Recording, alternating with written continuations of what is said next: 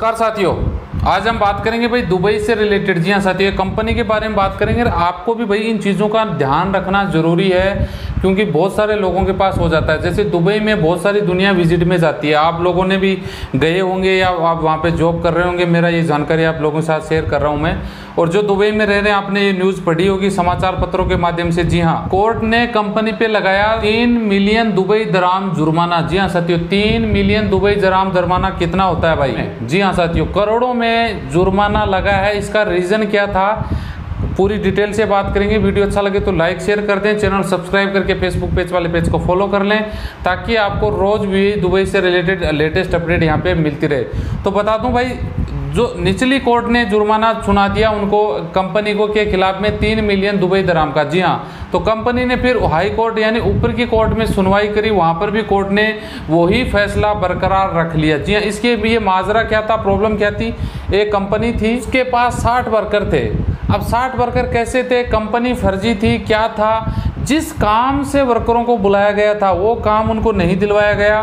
दूसरे काम में उनको लगा दिया, दूसरी कंपनी में लगा दिया, ठीक है? या फिर वो इलीगल हो गए। मेन रीजन था इलीगल कंपनी पे पड़ गया केस कोई ना कोई कैसे आपको पता है, दुबई वे में लेबर लोग कितना सकता है भैया? वहाँ पे सकता है से काम होता है। लेबर केस पड़ गया तो उसमें माजरा निकल के आया। जो कंपनी ने जो कंडीशन के आधार पर कंपनी रजिस्टर्ड हुई थी, वो कंडीशन पूरी नहीं पाई गई, अनियमितता पाई गई, फ्रॉडबाजी चिटिंग वगैरह वहाँ पे हुई। वर्करों को जिस काम में लगाया गया, वो काम नहीं मिला, वीज़ा दूसरा था, या फिर वो इलीगल वगैरह हो गए, ऐसा कुछ सिस्टम था। इसकी जाँच हुई, जाँच में कंपनी दोषी पाई गई। वर्करों की तो गलती नहीं थी। जाँच में कंपनी दोषी पाई गई तो भाई तीन मिलियन दुबई दराम का जुर्माना दुबई उस कंपनी में ठोक दिया गया। आप समझ सकते हैं भाई, दुबई दराम कितना होता है। अगर या तो वो जुर्माना दे, या फिर वो ब्लैक लिस्ट हो। अगर इंडिया का है या एशियन कंट्री का है तो सिस्टम क्लोज होकर उसको जेल जाना पड़ेगा। तो कहने का मतलब शॉर्ट में बता दूँ इलीगल वर्कर दुबई में काम नहीं कर सकता। आपको सबको पता है विज़िट में काम नहीं कर सकता।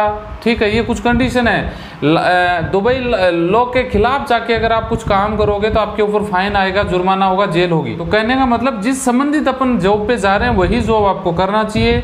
आप इलीगल हो तो काम कर रहे हो तो आपको पुलिस पकड़ेगी और कंपनी की भी खाट खड़ी होगी। ये मत समझना कि आप कंपनी में इलीगल 20 वर्कर काम कर रहे हैं, जिनके पास वीज़ा नहीं है। तो कंपनी हो सकता है आपको जॉब दे रही है, हो सकता है आपको सैलरी भी दे रही है, लेकिन कंपनी यूँ करेगी, उसकी शिकायत हो गई कंपनी के ऊपर छापा पड़ गया, कोई जाँच आ गई तो अगर वो इलीगल वर्करों से काम करवा रही है तो उसकी ज़िम्मेदारी रिस्पॉन्सिबिलिटी ज़्यादा होती है।